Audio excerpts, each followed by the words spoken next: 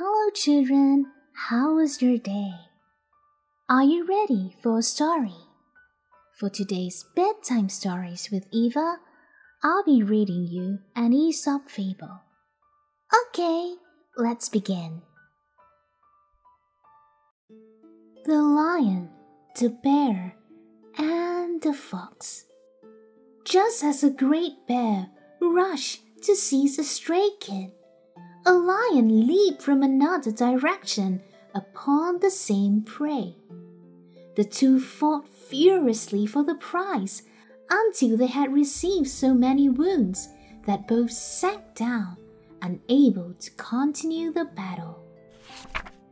Just then, a fox dashed up and seizing the kid, made off with it as fast as he could go, while the lion and the bear looked on in helpless rage. How much better it would have been, they said, to have shared in a friendly spirit. The end. The moral of the story is those who have all the toil do not always get the profit. Thank you for today. Hope you enjoy watching and listening to my bedtime stories.